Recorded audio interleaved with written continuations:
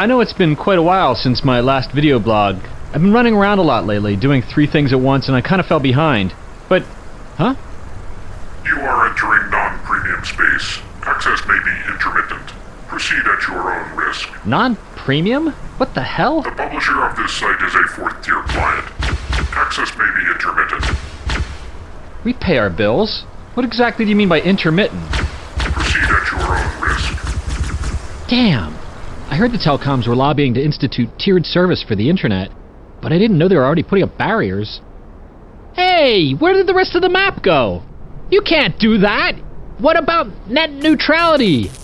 And stuff. Oh, that's great. Good. Now, don't, that's a little heavy-handed, though, don't you think? A little. I mean, if you were smart, you'd just make the service so slow that nobody would come back. So they go and watch what you want them to. Thank you for using Horizon. Who who the hell are you? I'm the celebrity spokesperson for your internet service provider. You know, you've got a nice little talk show outfit here. Yeah, well, I did, until the Great Void swallowed it up. What, this?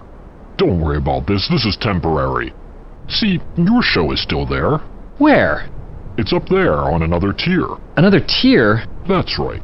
And all you have to do is agree to the new contract. Yeah, something tells me the rate has changed. Ha ha. You're catching on. Can't compete with those big corporate sites. Listen, you seem like a smart guy. So you probably understand how unfortunate it would be if your little talk show got mangled in our partitioning infrastructure. Ha ha! That felt good.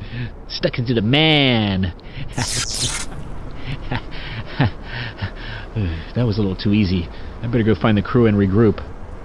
In this dramatic visualization, we present one view of what might happen if we don't act to protect net neutrality. But internet democracy advocates are not allowed to use plasma grenades in real life.